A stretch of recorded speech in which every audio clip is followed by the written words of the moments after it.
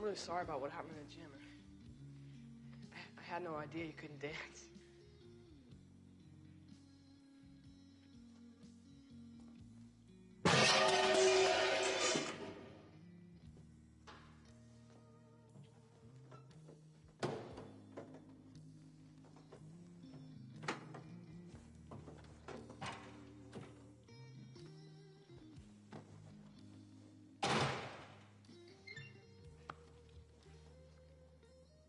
A decent night, huh? It's my birthday.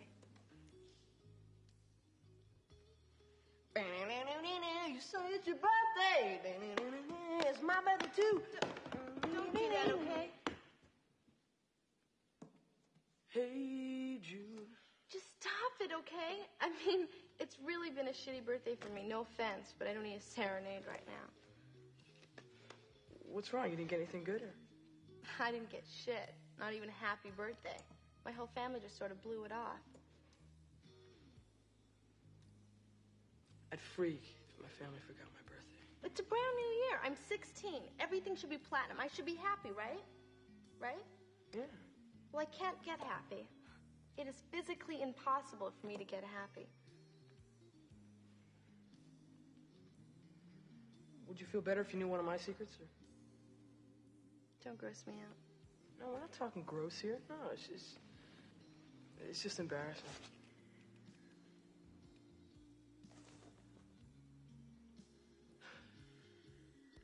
This information cannot leave this room, okay? It would devastate my reputation as a dude.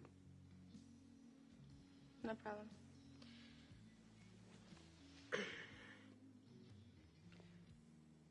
I've never bagged a babe. A stud. I got the rep in sixth grade, and it like, I don't know, it stuck with me. I'm still hold. Look, I appreciate you not laughing at me, okay? I'm sorry. It's not what I meant.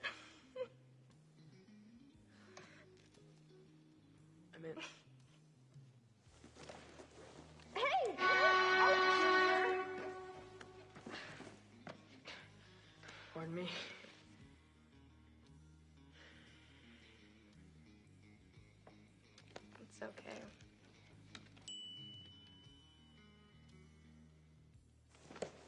I meant that it's okay that you did it once, but I didn't mean for you to do it again. Sorry. Sorry. You know, just now I really felt how much you like me. I'm probably zoning in on my brainwaves or something. Well, not really. I felt it on my leg. Come on, I don't want to see it. Oh. Sorry if I embarrassed you. I'm not embarrassed. Fresh breath's priority in my life. You know, I really don't want to hurt your feelings because it's really human to listen on my bullshit. I care about it, really. I mean, man, I know I came on kind of like a poozer on the bus tonight and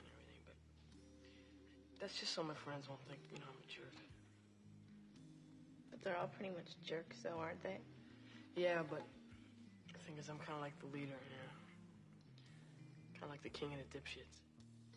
Well, that's pretty cool. Hey, but a lot can happen over a year. I mean, you could come back next fall as a completely normal person. Yeah? Sure.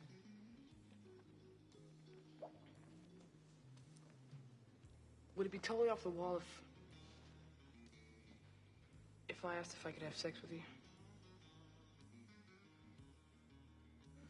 You know, you asking me is not as off the wall as why I won't. BD? no. I'm sort of saving myself. it's really stupid. He doesn't even know I exist. Oh. Oh. Jake Ryan. You like Jake?